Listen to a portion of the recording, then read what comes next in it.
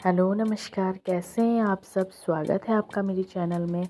तो आज हम बनाने वाले हैं साबूदाना की खीर, जो कि खाने में बहुत टेस्टी लगती है और बहुत ज़्यादा हेल्दी भी है, झटपट बन के तैयार हो जाती है।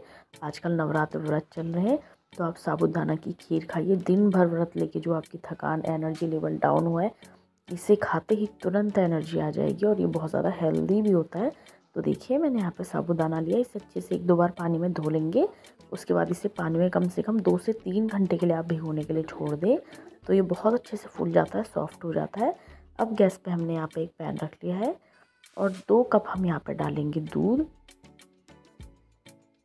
और दूध को चम्मच से चलाते हुए थोड़ा सा हम गर्म होने देंगे।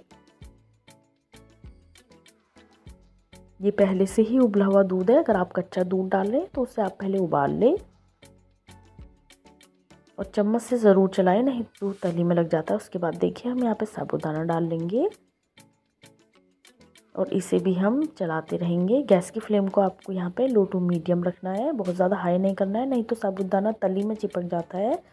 तो जब तक खीर बन रही है, तब तक हम यहाँ पे गुड़ का मीठा पानी बना लेते हैं। तो गैस पे हमने यहाँ पे एक भिगोना रख दिया है। एक कप हम यहाँ पे डाल लेंगे पानी। उसके बाद हाफ़ बोल हमने यहाँ पे गुड़ डाल लिया है। गुड़ के छोटे छोटे पीस कर ले। और गुड़ को भी आपको चम्मच से चलाते हुए लगातार पकाना है, नहीं तो ये भी तली लग जाता है। तो बस देखिए, पाँच मिनट में ही गुड़ का पानी बन के तैयार हो गया है। आप चाहे तो अगर चीनी वाली बना रहे हैं तो चीनी को भी इसी तरीके से पानी में डाल के पका ले, या वैसे ही बाद में आपको चीनी डालनी होती है, नहीं तो साबुदाने की खीर फट जाती है। तो देखिए, साबुदाना आप देखिए, अभी थोड़ा थोड़ा ट्रांसपेरेंट पूरी तरीके से नहीं हुआ है, बीच में हल्का सा सफ़ेद सफ़ेद लग रहा है।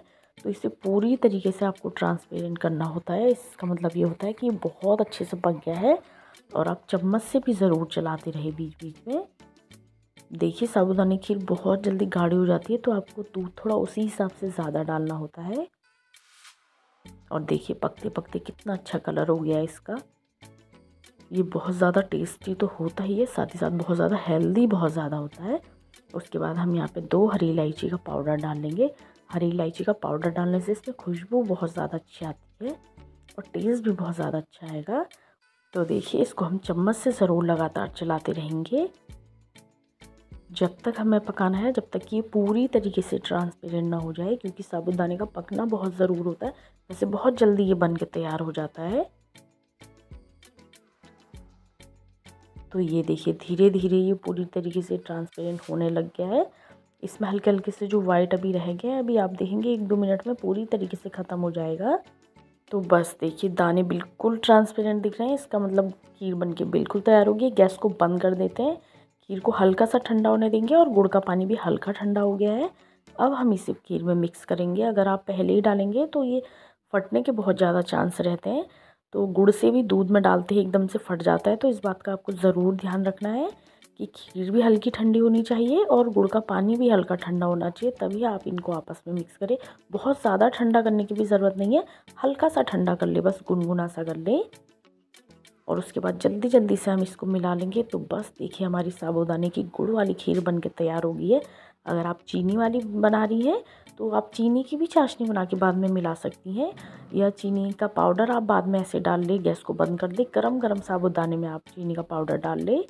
नॉर्मल चीनी को ग्राइंडर जार में ग्राइंड कर ले, क्योंकि साबुदाने की खीर फटने के बहुत ज़्यादा चांस रहते हैं तो आपकी मेहनत भी ख़राब हो जाती है, इतना समय भी ख़राब हो जाएगा और रेसिपी भी पूरी ख़राब हो जाएगी। तो छोटी छोटी सी बातों का अगर आप ध्यान रखिए तो आपकी रेसिपी कभी ही ख़राब नहीं होती है और ना ही आपकी मेहनत ख़राब होती है।